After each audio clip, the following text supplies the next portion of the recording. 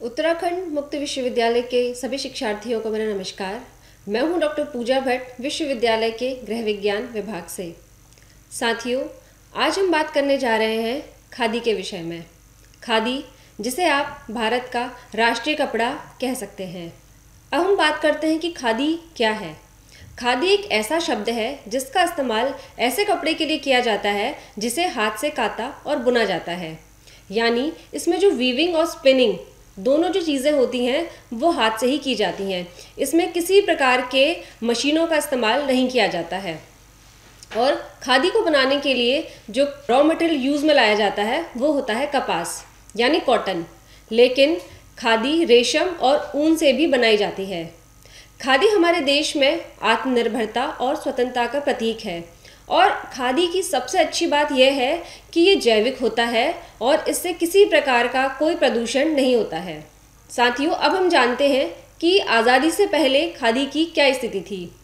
महात्मा गांधी जी ने आज़ादी से पहले ब्रिटिश कपड़ों के बहिष्कार के आंदोलन के रूप में 1920 में खादी संस्कृति को एक राजनीतिक हथियार के रूप में पेश किया। गांधी जी के ही नेतृत्व में खादी निर्माण ने एक गति पकड़ी। गांधी जी ने नारा दिया कि स्वदेशी अपनाओ और विदेशी का बहिष्कार करो। उस समय पे सभी लोगों ने खादी को ही अपनाया और ख़ास करके जो स्वतंत्रता सेनानी थे, उन लोगों के लिए खादी एक अहम हिस्सा बन गया था। उसके बाद 1925 में असहयोग आंदोलन के बाद ऑल इंडिया स्पिनर्स एसोसिएशन की स्थापना हुई। उसके बाद खादी के निर्माण ने और तेज़ी से रफ्तार पकड़ ली। गांधी जी ने खादी की अवधारणा को लेकर जो बेरोजगार ग्रामीण थे, उनको भी रोज़गार प्रदान किया। स्वतंत्रता के बाद भी आंदोलन जारी रहा और अखिल भारतीय खादी और ग्रामोद्योग बोर्ड बनाया गया, जो बाद में खादी ग्रामोद्योग के नाम से परिणित हुआ। अब हम बात करते हैं कि खादी में परिवर्तन किस प्रकार से आया। देखिए, हम जानते हैं कि खादी एक ट्रेडिशनल फैब्रिक है, यानी यह पूर्णतः पारंपरिक है। लेकिन किसी भी चीज़ को प्रासंगिक बने रहने के लिए अपने आप में चेंजेस करना बहुत ज़रूरी होता है। खादी ने धीरे धीरे अपने में बहुत सारे मॉडिफिकेशन अडेप्ट किए हैं। इसके लिए 1989 में के द्वारा मुंबई में पहला खादी बेस्ड फ़ैशन शो आयोजित किया गया। इसके बाद 1990 में मशहूर डिज़ाइनर रितु बेरी ने दिल्ली के क्राफ्ट म्यूज़ियम में प्रतिष्ठित ट्री ऑफ़ लाइफ शो में अपने खादी कलेक्शन को पेश किया। इन चीज़ों से खादी को फ़ैशन इंडस्ट्री में एक नई पहचान मिली। और आज के समय में हम देखें तो जो खादी है, ये भारत के एक बहुसंख्यक और युवा वर्ग के लिए एक स्टाइल स्टेटमेंट बन चुका है। तो ये तो मेन रीज़न थे कि किस प्रकार खादी में चेंजेस आए। उसके अलावा धीरे धीरे करके तकनीकों में चेंजेस आता गया, उपकरणों का अनुसंधान हुआ। इसकी वजह से भी खादी में बहुत सारे चेंजेस आए। इसके अलावा नई नई खादी संस्थाओं की स्थापना हुई। कारीगरों को समय समय प्रशिक्षण दिया गया ताकि वे खादी के डिज़ाइनिंग और उसके डेवलपमेंट में और ज़्यादा अपना योगदान दे सकें। इसके अलावा भी उच्च उत्पादन क्षमता वाले चरखा और विभिन्न प्रकार के फाइबर की मिक्सिंग की गई, जिसके द्वारा खादी से जो बने जो वस्त्र थे, वो और भी बेहतर होते चले गए। विभिन्न प्रकार के शेड कार्ड बनाए गए। शेड कार्ड का अर्थ यह है कि विभिन्न प्रकार के रंगों में खादी को इंट्रोड्यूस किया गया लोगों के आगे। इसके अतिरिक्त भी फैब इंडिया और नेचर एले जैसे जो प्रतिष्ठित ब्रांड हैं, उनके साथ भी खादी का कोलैबोरेशन किया गया। इन सब की वजह से जो खादी को एक नई पहचान मिलती ही चली गई। अब हम बात करते हैं चक्री फ़ैशन की। यदि आप ऐसा समझते हैं कि खादी का जो पुनरुद्धार हुआ है, वो अभी हुआ है। तो यह पूर्णतः सत्य नहीं है। एक्चुअली ये जो खादी में जो चेंजेस आए हैं और वो आज जिस मुकाम पे पहुँच चुका है, वो एक फ़ैशन चक्र का ही एक नतीजा है।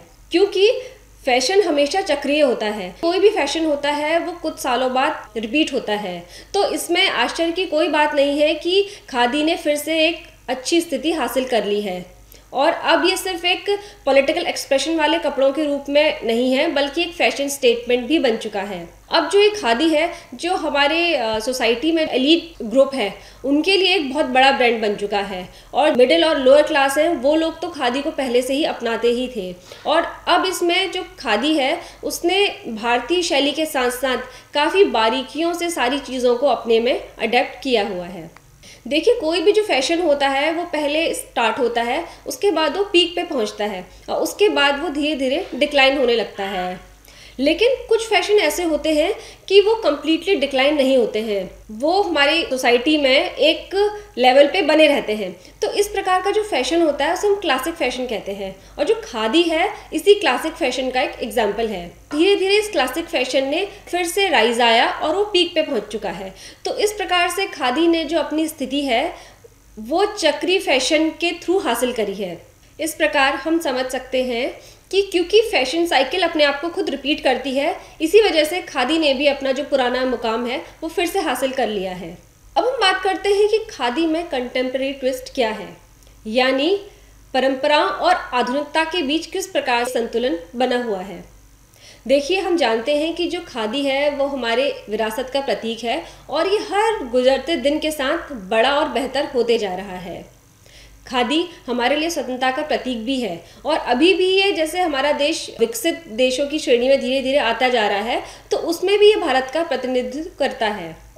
खादी की खास बात यह है कि जो इसमें जो वीविंग होती है, वो ट्रेडिशनल लूम्स पे की जाती है। लेकिन उसके बाद में जो इसकी जो डिज़ाइनिंग होती है, वो कंटेम्प्रेरी है। मतलब जो डिज़ाइनिंग इसमें करी जाती है, वो नवीन है, लेकिन बुनाई पुराने लूम्स पर ही करी जाती है इसमें। जनरली जो खादी का कपड़ा होता है, वो काफ़ी सुस्त और डल कलर्स में आता था पहले से। और जो फैब्रिक होता था, बहुत ही थिक होता था।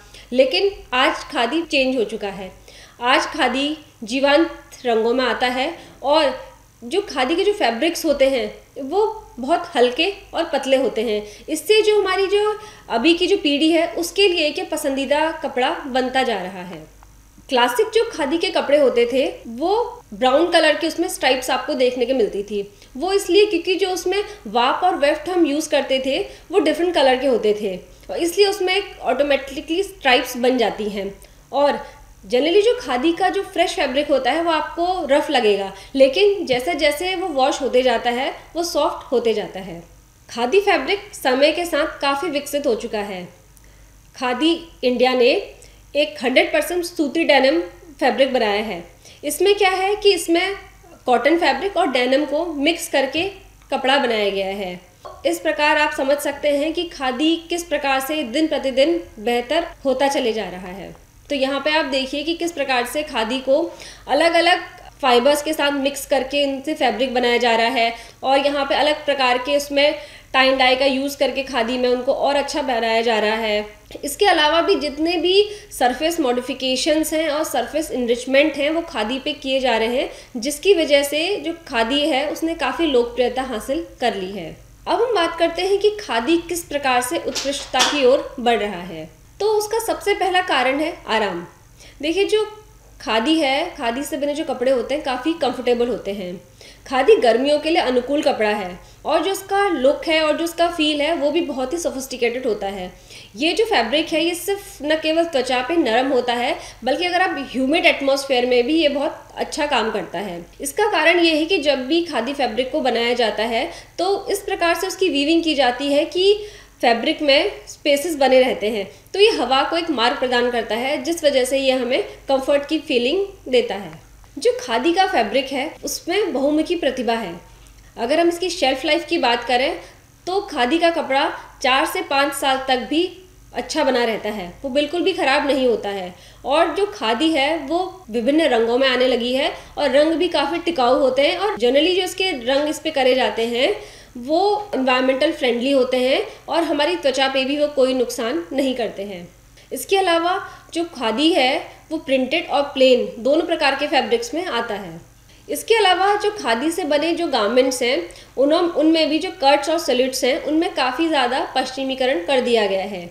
अब क्या हो गया है कि जो डिज़ाइनर्स हैं, उन्होंने खादी के जो भी गारमेंट्स बन रहे हैं, उनमें काफ़ी ज़्यादा उनके कट्स और सलिट्स में काफ़ी चेंजेस कर दिए गए हैं, जिससे कि सभी लोग इस प्रकार के खादी से बने हुए कपड़ों को पहनना पसंद कर रहे हैं। तो इन चीज़ों की वजह से जो खादी है, वो खुद को एक भविष्य के लिए एक टिकाऊ कपड़ों के रूप में स्थापित कर रहा है। इसके अलावा क्या होता है कि जो खादी है, वो एक सेल्फ टेक्सचर्ड फैब्रिक होता है। यदि आप उस पर किसी प्रकार की डिज़ाइनिंग नहीं भी करेंगे, कोई सरफेस मॉडिफिकेशन नहीं भी करेंगे तो वो कपड़ा अपने आप में ही काफ़ी अच्छा दिखता है। खादी की खासियत ये है कि उसमें किसी भी प्रकार की डिटेल्ड सरफेस मॉडिफिकेशन भी की जा सकती है। जैसे विभिन्न प्रकार की कढ़ाइयाँ, चिकन, कांथा, काशीदा ब्लॉक प्रिंटिंग आदि ये सब खादी पे किया जा सकता है। तो इस प्रकार से जो खादी है वो फॉर्मल वेयर भी बन जाता है और फेस्टिव वेयर भी बन सकता है। तो क्योंकि जो खादी की जो रेंज है, वो हर प्रकार के सीजन्स के लिए और हर प्रकार के जो ओकेजन्स हैं, उनके लिए बनता रहता है खादी। तो इस प्रकार आप समझ सकते हैं कि खादी सिर्फ़ एक फॉर्मल वेयर के रूप में ही नहीं, बल्कि फेस्टिव वेयर और विभिन्न प्रकार के ओकेजन्स में भी पहने जाने वाला कपड़ा बन सकता है। एक खास बात और है कि खादी सिर्फ़ कपड़ों में ही नहीं, जो हमारी फर्निशिंग आइटम्स हैं, उसमें भी खादी से बनी जो चीज़ें हैं, वो काफ़ी आजकल देखने में मिल रही हैं। तो इसलिए जो खादी है, वो नए आयाम प्राप्त कर रहा है। अगला है खादी और आर्थिक विकास। देखिए, जो खादी है, ये लोगों को रोज़गार देता है, और क्योंकि रोज़गार देता है तो गरीबी से मुक्ति भी मिलती है। और इससे जो बेसिकली जो रोज़गार उन लोगों को दे रहा है जो समाज के जो कमज़ोर और पिछड़े वर्ग हैं, क्योंकि कताई सीखना बहुत आसान होता है, इसके लिए बहुत कम पूंजी लगती है और कोई ऐसे खास उपकरण की आवश्यकता भी नहीं होती है। तो जो ग्रामीण भारत के जो लोग हैं, उनको ये रोज़गार दे रहा है और इस प्रकार से अर्थव्यवस्था को बढ़ावा भी दे रहा है ये। इसके अलावा, जितने भी कपड़ा उद्योग में अधिकांश जो कार्यबल है, वो महिलाएँ हैं। इसलिए जो बहुत सारी जो महिलाएँ हैं, उनको भी ये रोज़गार दे रहा है। स्वदेशी खादी कपड़ों के सशक्त बना रहा है और महिलाओं को एक स्थिर आजीविका भी प्रदान कर रहा है। इससे क्या हो रहा है कि जो उत्पादकता है, उसमें भी वृद्धि हो रही है। ग्रामीण जो क्षेत्र हैं, वहाँ पे भी औद्योगिकरण काफ़ी बढ़ चुका है।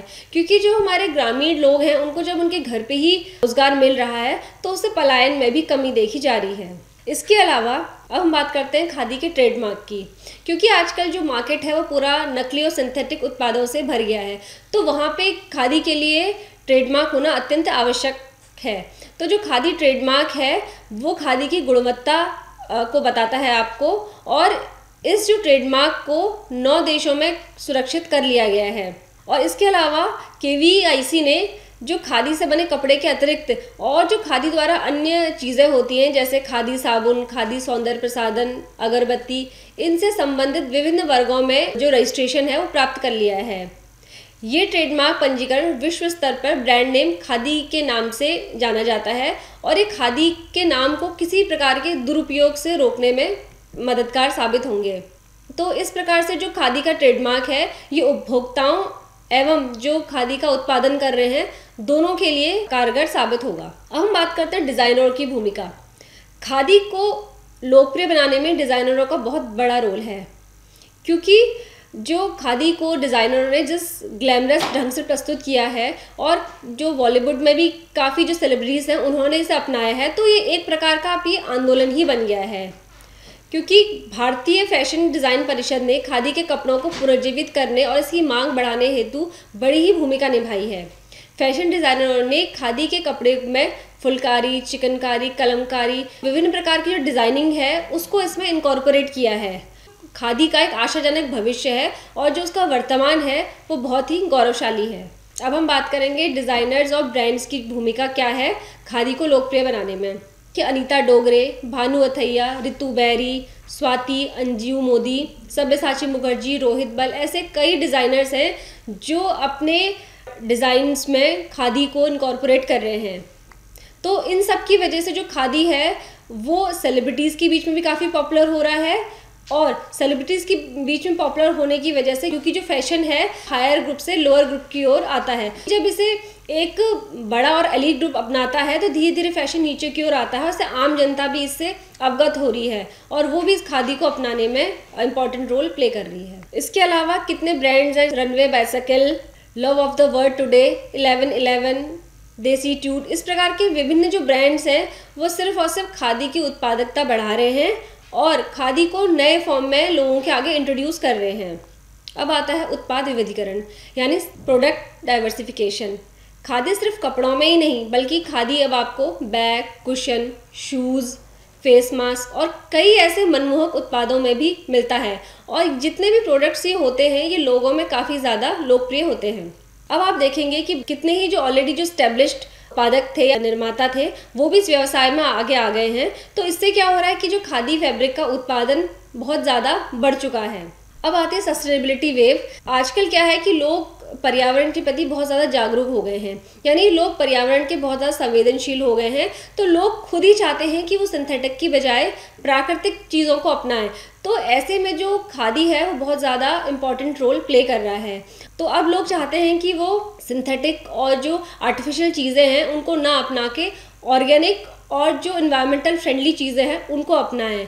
तो इसलिए आप कह सकते हैं कि जो खादी के पुनरुत्थान में जो सस्टेनेबिलिटी है, उसने बहुत ज़्यादा महत्वपूर्ण भूमिका निभाई है। क्योंकि जो खादी है, वो सस्टेनेबल होता है, इस वजह से खादी को दुनिया भर में सराहना मिली है।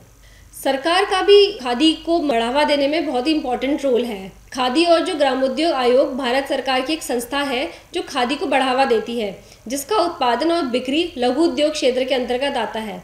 हर साल अक्टूबर से जनवरी के बीच सभी जो खादी के उत्पाद हैं, उन पर एक सेल लगाई जाती है, जिससे कि जो खादी की सेल है, वो ज़्यादा इंक्रीज़ होती है। इसके अलावा भी खादी को बढ़ावा देने के लिए देश विदेशों में खादी बेस्ड जो प्रोडक्ट हैं, उनसे संबंधित व्यापार मेलों का भी आयोजन किया जाता है और प्रदर्शनियाँ भी लगाई जाती हैं। इससे क्या होता है कि खादी को लोग विदेशों में भी पहचानने लगते हैं और जो खादी की सेल है, उसमें भी काफ़ी ज़्यादा वृद्धि होती है। इसके अलावा प्रधानमंत्री नरेंद्र मोदी जी द्वारा भी खादी है, उसको काफ़ी अच्छी पहचान मिली है, क्योंकि वो भी जो खादी के लिए जो आंदोलन है, उसका समर्थन करते हैं। उनके द्वारा जो सहयोग खादी उद्योग को प्रदान किया गया, वो सराहनीय है। इसके अतिरिक्त खाद सरकार द्वारा खादी के निर्यात पे भी नए सिरे से ध्यान दिया जा रहा है। खादी के विकास के लिए रोज़गार युक्त गाँव बनाए जा रहे हैं और खादी डिज़ाइनिंग हाउस भी का भी निर्माण किया जा रहा है। इसके अतिरिक्त खादी सुधार विकास कार्यक्रम भी बनाए जा रहे हैं। और जो सरकार है, वो बेसिकली युवाओं पे ध्यान दे रही है, क्योंकि जो एक बड़ा जो उपभोक्ता वर्ग है, वो युवा हैं, ताकि युवा लोग ज़्यादा से ज़्यादा खादी को अपनाएँ। और इसके लिए स्कूल, कॉलेज और उद्योगों से भी सरकार लगातार संपर्क में है, ताकि वहाँ पे लोग खादी के महत्व को पहचानेंगे और उसका प्रचार प्रसार होगा। अब हम बात करते हैं कि किस प्रकार से सोशल मीडिया खादी के पुनरुत्थान में योगदान दे रहा है। जो सोशल मीडिया का जो रोल है, वो काफ़ी ज़्यादा इंपॉर्टेंट है, क्योंकि सोशल मीडिया के माध्यम से लोग इसे और ज़्यादा जानने और पहचानने लगे हैं और इसके महत्व को भी वो समझने लगे हैं, इसलिए सोशल मीडिया के थ्रू खादी की लोकप्रियता में काफ़ी ज़्यादा वृद्धि हुई है। अंत में मैं बस यही कहना चाहूँगी कि जो खादी है, वो केवल परंपरा या फ़ैशन के बारे में नहीं है, बल्कि ये उससे कई ज़्यादा अधिक है। ये स्थायी फ़ैशन को बढ़ावा देने और भारत के स्वतंत्रता संग्राम को याद करने के विषय में है। इसी के साथ मैं आज का व्याख्यान समाप्त करती हूँ। आशा करती हूँ कि आपको ये व्याख्यान उपयोगी लगा होगा। धन्यवाद।